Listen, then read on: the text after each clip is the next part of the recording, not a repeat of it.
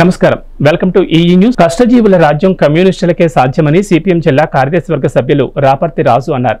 ఆదివారం స్థానిక పాలకుర్తి మండల కేంద్రంలోని బమ్మెర గ్రామంలో సిపిఎం శాఖ మహాసభ సందర్భంగా సిపిఎం జెండాను ఆవిష్కరించారు. అనంతరం ర్యాలీ నిర్వహించారు. ఈ మహాసభ నిర్వహించగా ఈ సభకు వెనకాతల సోమన్ అధ్యక్షత వహించగా ఈ సందర్భంగా వారు ముఖ్య అతిథిగా పాల్గొని మాట్లాడుతూ దేశంలో రెండవసారి అధికారంలోకి వచ్చిన బీజేపీ ప్రభుత్వం స్వదేశీ నినాదం జపం చేస్తూ దేశ సంపదను విదేశీ బహుళజాతి సంస్థలకు స్వదేశీ కార్పొరేట్ శక్తులకు పెడుతోందని విమర్శించారు. దేశానికి సంపద సృష్టించే ప్రభుత్వ రంగ సంస్థల నీటిని అంబానీ అదానీ తదితర బడా కార్పొరేట్ శక్తులకు అమ్మేస్తున్నారని మండిపడ్డారు. వ్యవసాయ రంగాన్ని రైతాంగం చేతుల్లో లేకుండా బహుళజాతి కంపెనీలకు అప్పచెప్పేందుకు మూడు రైతు వ్యతిరేక చట్టాలను తీసుకొచ్చారని మండిపడ్డారు.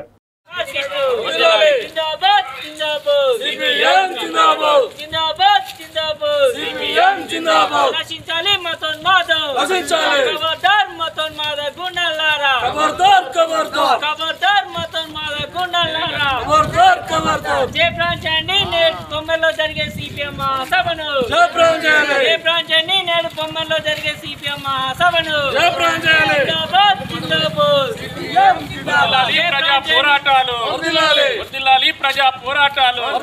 జిందాబాద్ జిందాబాద్ సిపిఎం జిందాబాద్ పరిష్కరించాలి బొమ్మెర గ్రామంలో నెలకొన్న స్థానిక సమస్యలను పరిష్కరించాలి. పరిష్కరించాలి బొమ్మెర గ్రామ స్థానిక సమస్యలను పరిష్కరించాలి. బొమ్మెర గ్రామంలో బురద గుంటలుగా మారిన అంతర్గత రోడ్ల మరమ్మతులు వెంటనే చేపట్టాలి. అంతర్గత రోడ్ల మరమ్మతులు వెంటనే చేపట్టాలి. స్థానిక సమస్యలు వెంటనే చేపట్టాలి. సిపిఎం ప్రజా పోరాటాలు.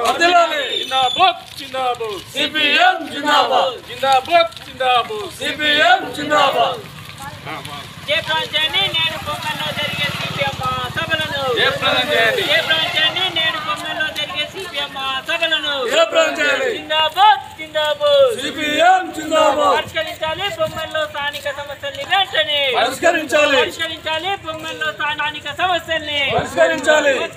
భారత కమ్యూనిస్ట్ పార్టీ మార్కిస్ట్ భారత కమ్యూనిస్ట్ పార్టీ మార్కిస్ట్ వర్ధిల్లాలి. వర్తిల్లాలి ప్రజా పోరాటాలు వర్ధిల్లాలి. వర్తిల్లాలి ప్రజా పోరాటాలు వర్ధిల్లాలి. జిందాబాద్ జిందాబాద్ సిపిఎం జిందాబాద్ పరిష్కరించాలి బొమ్మల్లో స్థానిక సమస్యల్ని పరిష్కరించాలి. పరిష్కరించాలి బొమ్మల్లో స్థానిక సమస్యల్ని పరిష్కరించాలి. జిందాబాద్ జిందాబాద్ సిపిఎం ఓకే ఇది బాగానే ఉంది కానీ ఇంకెక్కడ ఇది కరోనా వచ్చే చచ్చిపోతే మనిషి శవాలను కూడా శ్మశానానికి లైన్లు కట్టారు. మధ్యలో చూసారా మీరు ఢిల్లీలో కానీ పెద్ద పెద్ద నగరాల్లో చనిపోయినటువంటి కరోనా వచ్చి చనిపోతే మనుషులను కుక్కల కంటే అద్భుతమైన పరిస్థితి. ఆ కుటుంబ సభ్యులు కూడా పట్టించుకోడు ఎవరు పట్టించుకోడు ఎక్కడ చచ్చిపోయినాడు అక్కడే ఉంటే ఆ శవాలను తీసుకుపోయి శ్మశానంలో వేయాలంటే సూత. ఆ శ్మశానానికి కాడికి కూడా పెద్ద ఎత్తున లైన్లు కట్టి ఉన్నది. అంటే భారతదేశం ఎంత దుర్మార్గం శ్మశానానికి కూడా లైన్లు కట్టాల్సిన పరిస్థితి వస్తుందని. ఎవడన్నా భావించినా మనం ఎప్పుడన్నా ఈ బీజేపీ పరిస్థితిలో అంత దుర్మార్గమైనటువంటి ఈ ఈ పరిస్థితి బీజేపీ అధికారంలోకి వచ్చిన తర్వాత మనం జరుగుతుంది. ఇప్పటికీ ఒక సరైనటువంటి విధానం లేదు. ఈ దేశానికి ఒక సరైనటువంటి ఈ దేశంలో ఉన్నటువంటి రైతాంగం పట్ల కావచ్చు వ్యవసాయ కార్మికుల పట్ల కావచ్చు పేదల పట్ల కావచ్చు అన్ని వర్గాల ప్రజల పట్ల ఒక సమగ్ర అవగాహన బీజేపీకి లేదు. దానికి ఉన్నదల్లా ఈ దేశాన్ని మతం పేరుతో చీల్చడం మళ్ళీ మతం పేరుతోటి ఓట్లు వేయించుకొని సెంటిమెంట్ ఓట్లు వేయించుకొని గద్దెనెక్కడం గద్దెనెక్కిన తర్వాత ఈ దేశాన్ని దోచి తన అంబానీ ఆదాని బడా పెట్టుబడిదారులకు విదేశీ బౌలజాయ సంస్థలకు దోచిపెట్టడం తప్ప బీజేపీ దేశానికి చేసింది ఏం లేదు వరగా పెట్టింది ఏం లేదు. బీజేపీ పాలన ఇంత దుర్మార్గంగా ఉంది. మరి ఇంకేం చేస్తుంది? ఈ దేశంలో ఇప్పుడు అన్ని ప్రైవేటీకరణ అయినాయి. మిగిలింది ఏంటో తెలుసా మీకు? మన చేతుల్లో ఉన్న భూములు మాత్రం. రైతాంగం చేతుల్లో ఉన్న భూములు మాత్రమే ప్రైవేట్ చేతుల్లో లేవు. ఇవాళ రైతుల చేతుల్లో భూములు ఉంటే రైతులాట వ్యవసాయం చేసే దాంట్లో సరిగ్గా పంటలు పండించే దాంట్లో వీళ్ళు వెనకబడిపోతున్నారట. కాబట్టి అది పెద్ద పెద్ద కంపెనీలకు ఇస్తే కార్పొరేట్ శక్తులకు ఇస్తే వాళ్ళు బ్రహ్మాండంగా పంటలు పండిస్తారట. కాబట్టి రైతుల చేతుల్లో భూములు ఉండొద్దట. రైతుల చేతుల్లో భూములను కార్పొరేట్ శక్తుల చేతుల్లో భూములు పెట్టాలంటే ఏం చేయాలి? నువ్వు రైతులు ఇక్కడ ఉన్న మీరు ఇవ్వమనంటే ఇస్తారా? దానికి ఒక చట్టం పార్లమెంట్లో చేశారు రైతు వ్యతిరేక మూడు వ్యవసాయ చట్టాలు తీసుకొచ్చారు. ఆ చట్టాలను ఇంప్లిమెంటేషన్ చేస్తానికి సిద్ధపడితే ఈ దేశంలో మహత్తరమైనటువంటి తెలంగాణ సాయుధ రైతాంగ పోరాటం భూమి కోసం భుక్తి కోసం ఏ రకంగానైతే ఇట్లా జరిగిందో ఈ బీజేపీ తీసుకొచ్చినటువంటి మూడు రైతాంగ వ్యతిరేక చట్టాల పైన ఒక సమరశీల రైతాంగ ఉద్యమం మన భారతదేశంలో ఎనిమిది నెలల నుండి ఢిల్లీలో జరుగుతూ ఉంది. ఇప్పుడు ఆడ పార్లమెంట్ జరుగుతా అంటే పార్లమెంట్కి ఎదురుగానే జంతర్ మంతర్ వద్ద రైతాంగం అక్కడ ఆందోళన చేస్తుర్రు. ఈ ఎనిమిది నెలల నుండి రైతు వ్యతిరేక వ్యవసాయ చట్టాలు రద్దు చేయాలని చెప్పేసి రైతాంగం పెద్ద ఎత్తున అక్కడ కొట్లాడుతున్నది. మరి ఎవరి కోసం? అక్కడ కొట్లాడుతున్న ఒక పంజాబ్ రైతుల కోసం హర్యానా రైతుల కోసం ఉత్తరప్రదేశ్ రైతుల కోసం ఢిల్లీ చుట్టూన్న రైతుల కోసం కాదు. ఈ దేశంలో ఉన్న మొత్తం రైతాంగం కోసం వాళ్ళ డిమాండ్. ఈ రైతు వ్యతిరేక వ్యవసాయ చట్టాలు రద్దు చేయాలి. అలాగే రైతుకు వ్యతిరేకమైనటువంటి విద్యుత్ సంస్కరణల చట్టాన్ని ప్రజా వ్యతిరేకమైనటువంటి సంస్కరణలు విద్యుత్ సంస్కరణ చట్టాన్ని కూడా వ్యతిరేకిస్తున్నాం. ఇప్పుడు రేపు రాబోయే కాలంలో కుప్పం మండలం బంగాళత్వం సమీపంలో పోలీసులమంటూ వాహనదారులను నిలిపి వసూలు చేస్తూ తమిళనాడుకు చెందిన ఇనోవా వాహనాన్ని ఆపి తనిఖీల పేరుతో వాహన చోరీకి యత్నం చేశారు. గ్రామస్తుల సహాయంతో వాహనాన్ని వెంబడించి పట్టుకుని నిందితులను కట్టేసి పోలీసులకు సమాచారం అందించారు. సంఘటనా స్థలానికి చేరుకున్న పోలీసులు నిందితులను అదుపులోకి తీసుకున్నారు. నిందితుల వివరాలు పోలీసుల విచారణలో తేలాల్సి ఉంది.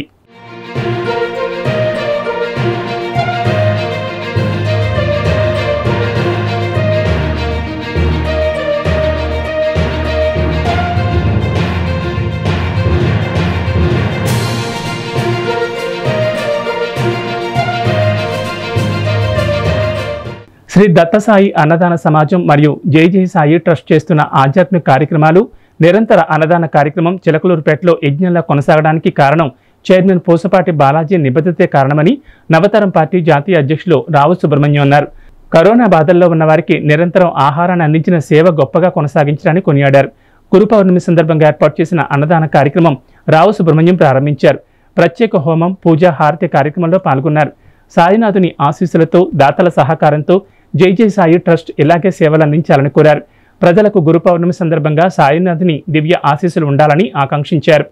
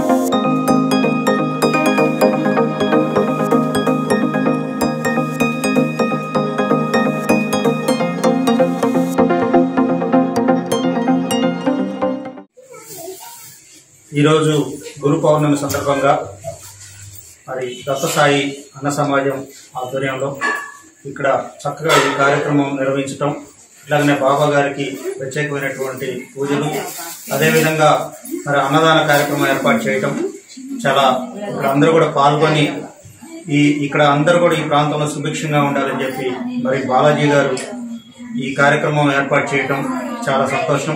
బాబా గారి ఆశీస్సులు అందరికీ ప్రజలందరికీ ఉండి అందరు బాగుండాలనేది మనస్ఫూర్తిగా కోరుకుంటాను కొమరం భీం ఆసిఫాబాద్ జిల్లా కాగజ్నగర్ పట్టణంలోని వార్డు నెంబర్ ఇరవై ఎనిమిదికి చెందిన సుగుణమ్మ గత కొన్ని రోజులుగా కురిసిన భారీ వర్షాలకు వారి నివాసం పూర్తిగా కుప్పకూలింది.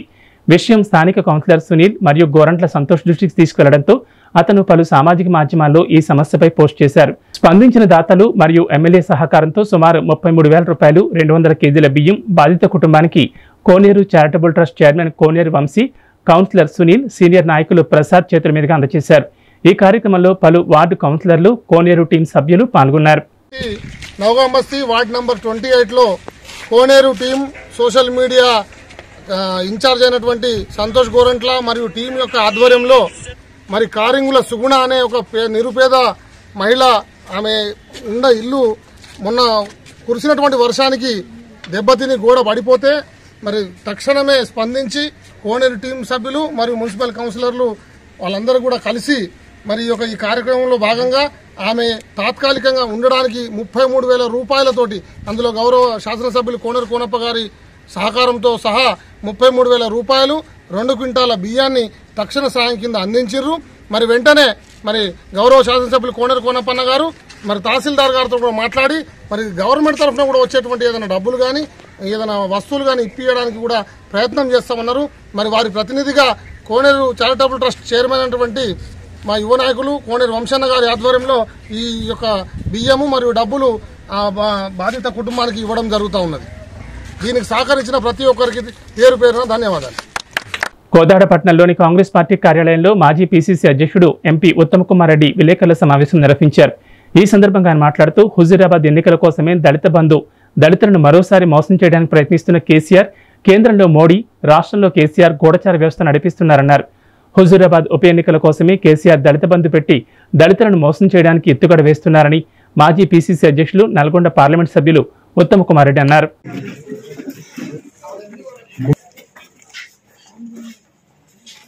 అన్ని విషయాలకి తయారు చేయడానికి ఈరోజు నేను నలుగురు మధ్యాహ్నం ఉదయం హుజూర్నగర్లో ఇప్పుడు కోదాడులో అయితే ఇప్పటివరకేమో కమిటీలు గ్రామ కమిటీలు పూర్తి చేయాలని చెప్పి చెప్పడం జరిగింది. ఇప్పుడు నేను మాట్లాడే విషయం కొన్ని స్టేట్ ఇష్యూస్ మాట్లాడాలనుకున్నాను ఇప్పుడు ముఖ్యమంత్రి గారు కల్వకుంట్ల చంద్రశేఖర్ రావు దళితులను మోసం చేయడానికి మరోమారు ముందుకొచ్చారు. ఒకనాడు తెలంగాణలో అధికారంలోకి రావడానికి ప్రతి దళిత కుటుంబానికి మూడు ఎకరాలు ఇస్తా అని చెప్పిన ఆయన రాష్ట్రంలో ఉన్న దళితులకి ఒక్క పర్సెంట్ గుడివలే ఒక్క పర్సెంట్ గుడివలే దళిత ముఖ్యమంత్రి అన్నాడు ఆ విషయంలో కూడా మోసం చేసిండు. దళితులకి డబుల్ బెడ్రూమ్ ఇల్లు అన్నాడు రాష్ట్రంలో ఉన్న దళితులకి ఒక్క పర్సెంట్ కూడా ఇవ్వలే. ఇప్పుడు మళ్ళా ఒక కొత్త మోసంతో ముందుకు వచ్చిండు. కేవలం హుజూరాబాద్ బై ఎలక్షన్ కోసమే ఈ దళిత బంధు పెట్టిండు అని చెప్పిన ఆలోచన. మరి నిజంగానే దళితుల ప్రేమ ఉంటే దళిత ముఖ్యమంత్రి ఎందుకు చేయలేదు? దళితులకు మూడు ఎకరాలు ఎందుకు ఇవ్వలేదు? దళితులకు డబుల్ బెడ్రూమ్ ఇవ్వలేదు. ఇవ్వకపోగా ఈరోజు తెలంగాణలో ఎస్సీస్ పదహారు పర్సెంట్ ఉన్నారు. పదహారు పర్సెంట్ ఉన్న ఎస్సీలకి క్యాబినెట్లో ఒకే స్థానం. సగం పర్సెంట్ ఉన్న ముఖ్యమంత్రి సామాజిక వర్గానికి ముప్పై పర్సెంట్ స్థానాలు క్యాబినెట్లో మరి ఇదెక్కడి సామాజిక న్యాయం? కల్వకుంట్ల చంద్రశేఖరరావు గారు. మరి మీరు దళితుల మీద ఏదో ప్రేమ ఉన్నట్టుగా నడుస్తున్నారు తెలంగాణ రాష్ట్రంలో అతి పెద్ద సామాజిక వర్గమైన దళితులు ఎస్సీలకి క్యాబినెట్లో ఒకటే స్థానం. తెలంగాణలో అతి చిన్న సామాజిక వర్గమైన మీది అర పర్సెంట్ ఉన్నది ముప్పై పర్సెంట్ స్థానాలు. మరి తప్పనిసరిగా ఇది మరోసారి దళితులను మోసం చేయడానికి ముందుకు వస్తారు మీరు ముందు ప్రకటించిన విషయాల్లో ఈ రోజు మీరు తెలియజేయండి. ఏం చేశారు? దళిత ముఖ్యమంత్రి గురించి ఎందుకు చేయలేదు? మూడు ఎకరాల గురించి ఎందుకు చేయలేదు? డబుల్ బెడ్రూమ్ ఇల్లు ఎందుకు చేయలేదు? ఎస్సీ ఎస్టీ సబ్ ప్లాన్లో ఈ ఏడున్నర ఏళ్ళలో ఎస్సీలకి జనాభా ఆధారంగా ప్రతి సంవత్సరం పదహారు పర్సెంట్ బడ్జెట్ పెట్టినరా స్పష్టంగా లెక్కలు ఇవ్వాలి. ఆ తర్వాత కొత్త పథకం గురించి మాట్లాడితే దానికి ఏమన్నా అర్థం సార్థకత ఉంటుందని చెప్పి మనం చేస్తాం. దళిత బంధులు దాని గురించి మీకు నిజంగా చిత్తశుద్ధి ఉంటే ఈ బడ్జెట్లో లక్షన్నర కోట్లు పెట్టండి. మీరు చెప్పిన దళిత బంధు పూర్తయింది లక్షన్నర కోట్ల ఈ సంవత్సరం బడ్జెట్లో పెడితే గాని దళిత బంధు దళితులకి కొంత న్యాయం జరుగుతుంది. మీరు ఏదో నా మాత్రం ఏదో పైలట్ ప్రాజెక్టు హుజరాబాద్ ఎలక్షన్స్ ఉన్నాయి కాబట్టి అని చెప్పడం ఇది మరో మాది దళితులను మోసం చేయడమే. ఇంకో విషయం చెప్తానండి ఎస్సీలు దళితులు ప్రత్యేకంగా మాదిగ సామాజిక వర్గం తెలంగాణలో అతిపెద్ద సామాజిక వర్గం.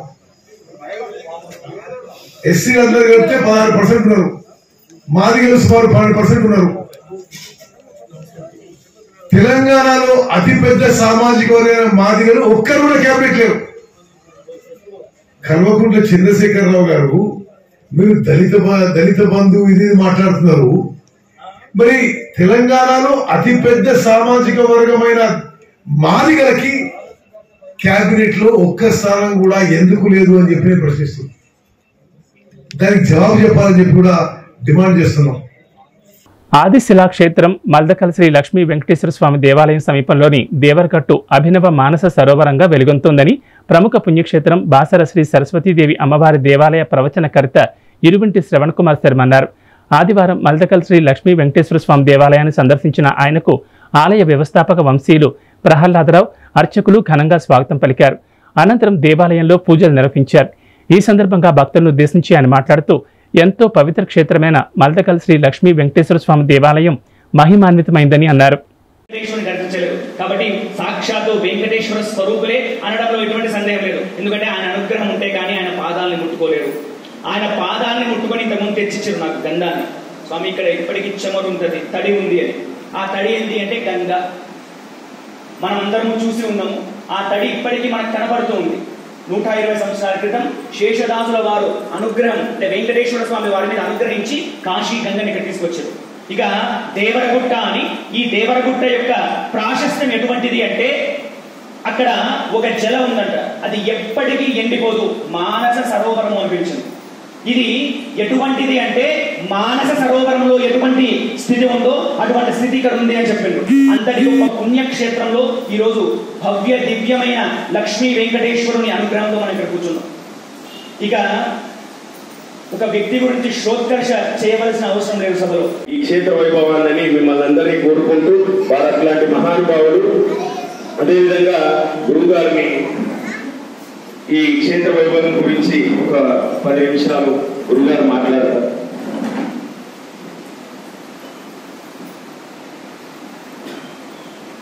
శ్రీ మహాగణాధిపతయే నమ. శ్రీ మహాసరస్వత్యే నమ. శ్రీ గురుభ్యో నమ. పరమ పవిత్రమైన ఆషాఢ మాసంలో కృష్ణపక్షంలో ప్రతిపద నాడు ఆదిశిలా క్షేత్రమైన గిరీశాచలంలో కొలువుదీరి ఉన్న కిరాత అనిరుద్ధ రూపంలో ఉన్న లక్ష్మీ వెంకటేశ్వర స్వామి పాదరత్నాలు నమస్కరిస్తూ ఈ క్షేత్ర పాలకుడైన పరమేశ్వరునికి పరమేశ్వరుని పాదాలకు నమస్కరిస్తూ ఈరోజు పరమ ఉత్కృష్టమైన రోజు. అంటే ఇప్పుడున్న కాలమాన పరిస్థితుల్లో అందరికీ ప్రతి ఒక్కరూ పాల్గొనాలి అంటే ఆదివారం కావాలి. సెలవు దినం కానీ రాలేదు.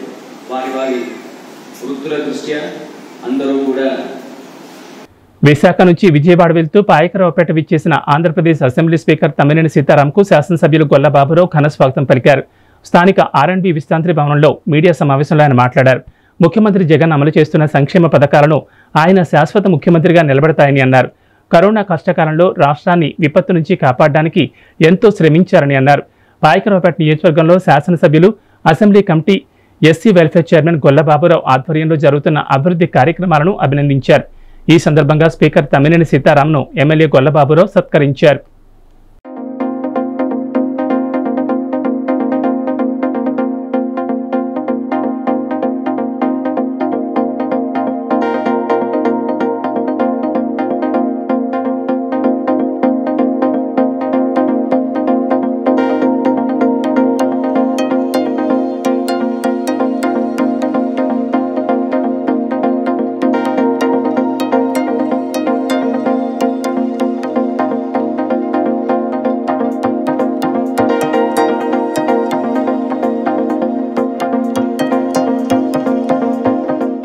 ఇంద్రపాలెం సచివాలయం రెండులో వ్యాక్సినేషన్ కార్యక్రమాన్ని నిర్వహించడంలో భాగంగా కాకినాడ రూరల్ మండలం ఇంద్రపాలెం గ్రామంలో ఉన్న వారికి నలభై ఐదు సంవత్సరాలు దాటిన వారికి మహిళలకు వ్యాక్సినేషన్ సుమారుగా రెండు వందల యాభై కోవిషీల్డ్ వ్యాక్సిన్లు వేశారు.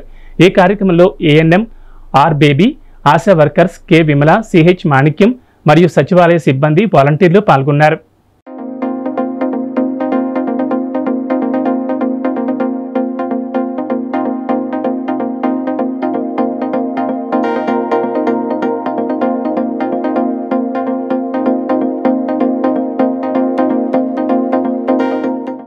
రాష్ట్ర ప్రభుత్వం పేదలకు అందిస్తున్న రేషన్ కార్డులను ఖమ్మం డిపిఆర్సీ భవనం మరియు రఘునాథపాలెం రైతు వేదిక నందు రేషన్ కార్డ్స్ పంపిణీని రవాణా శాఖ మంత్రి పువ్వాడ అజయ్ కుమార్ లాంఛనంగా ప్రారంభించారు. ఈ సందర్భంగా ఆయన మాట్లాడుతూ జిల్లా వ్యాప్తంగా పన్నెండు వేల నూట పదకొండు మంది లబ్ధిదారులకు పంపిణీ చేయడం జరుగుతుందన్నారు. పేదల తరపున ముఖ్యమంత్రి కేసీఆర్కు కృతజ్ఞతలు తెలిపారు. రేషన్ కార్డులు పంపిణీ కార్యక్రమాన్ని మరి తీసుకోవడం జరిగింది. కొత్తగా రేషన్ కార్డులకి గతంలో ఇచ్చిన అప్లికేషన్స్ అన్నింటినీ కూడా పరిశీలించి అర్హులైన వాళ్ళందరికీ కూడా కొత్త రేషన్ కార్డులు ఇచ్చే కార్యక్రమాన్ని ఖమ్మం జిల్లా ఉమ్మడి ఖమ్మం జిల్లాలో ఈరోజు ఇక్కడ ఖమ్మం నుండి ప్రారంభం ప్రారంభం చేస్తూ ఉన్నాం. ప్రతి నియోజకవర్గంలో కూడా మరి ఎక్కడికక్కడ ఏ మండలంలో ఆ మండలంలో ఈరోజు నూతన రేషన్ కార్డులు ఇచ్చే కార్యక్రమం కూడా నడుస్తూ ఉంది. మన ఖమ్మం అర్బన్ మండలానికి సంబంధించి దాదాపు రెండు వేల ఆరు మందికి కొత్తగా రేషన్ కార్డులు మంజూరైనాయి. అలాగే రఘునాథపాలెం మండలానికి నాలుగు వందల ఇరవై ఐదు రేషన్ కార్డులు మంజూరైనాయని ఈ సందర్భంగా తెలియజేస్తా ఉన్నాం. అలాగే ఖమ్మం జిల్లా మొత్తానికి సంబంధించిన మరి ఐదు నియోజకవర్గాలకు సంబంధించి కొత్త రేషన్ కార్డుల సంఖ్య ఎంత? చేసి జేసీ గారు? పన్నెండు వేల నూట పదకొండు కొత్త రేషన్ కార్డులని ఈరోజు ఖమ్మం జిల్లాలో ఉన్న ఐదు నియోజకవర్గాల్లో కొత్త ఖమ్మం జిల్లాకు సంబంధించిన దాంట్లో పన్నెండు వేల నూట పదకొండు మందికి కూడా రేషన్ కార్డులు కొత్తగా జారీ చేయడం జరుగుతూ ఉంది. మరి గతంలో ఏదైతే రేషన్ కార్డుల కోసం అప్లై చేసుకున్నారో అర్హులు ఎవరైతే ఉన్నారో వాళ్ళల్లో ఉన్న వాళ్ళకి ఇప్పుడు పరిశీలించి రేషన్ కార్డులు ఇవ్వడం జరుగుతూ ఉంది. కొంతమందికి మరి పార్టిషన్ లేదా పిల్లలు విడిపడిన వాళ్ళు వాళ్ళందరికీ ఇంకా మళ్ళీ విడతలో మళ్ళీ ఇవ్వడానికి ముఖ్యమంత్రి గారు నిర్ణయం తీసుకున్నారు. ఇప్పుడు ప్రస్తుతం ఉన్న మొత్తం కొత్త రేషన్ కార్డులలో నూతనంగా ఉన్న వాళ్ళు ఎవరైతే ఉన్నారో వాళ్ళు ఖమ్మంలో వచ్చి స్థిరపడి రేషన్ దుకాణాల్లో రేషన్ కోసం అని చెప్పి మరి వెయిట్ చేస్తా ఉన్నారో. అట్లాంటి వాళ్ళందరికీ కూడా లబ్ధి చేకూరుద్ది. జిల్లా వ్యాప్తంగా కూడా అన్ని రేషన్ కార్డుల మరి జ్యూరిస్డిక్షన్లో కూడా ఈ కొత్త రేషన్ కార్డులని ఆగస్టు నుంచి మరి ఇవ్వడం జరుగుతుంది. ఇప్పుడు ఇచ్చే రేషన్ కార్డులు మీకు ఆగస్టు మొదటి వారంలో మీకు కొత్తగా రేషన్ కార్డు పర్ పర్సన్ ఆరు కిలోలు రైసు. మరి కుటుంబంలో ఎంతమంది ఉంటే అంతమందికి కూడా ఇవ్వడం జరుగుద్ది.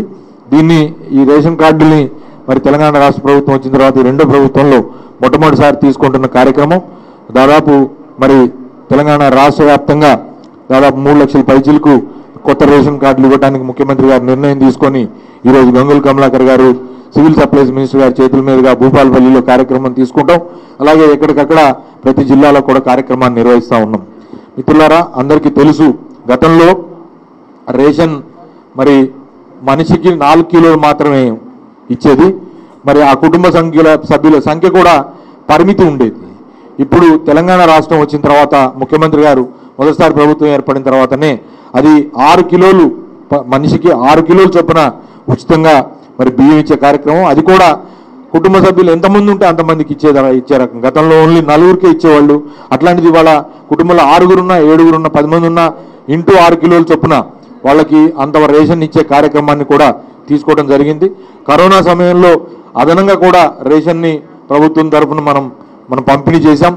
ప్రజలందరికీ కూడా అప్పుడు దాంతో పాటుగా పదిహేను వందల రూపాయలు రిలీఫ్గా మెజర్గా కూడా డబ్బులు కూడా ఇవ్వడం జరిగింది. ఇరవై ఐదు కిలోలు అదనంగా రేషన్ కూడా మనం కరోనా సమయంలో ఇచ్చాం. మొదటి కరోనా సమ- వేవ్లో రెండో కరోనా వేవ్లో కూడా.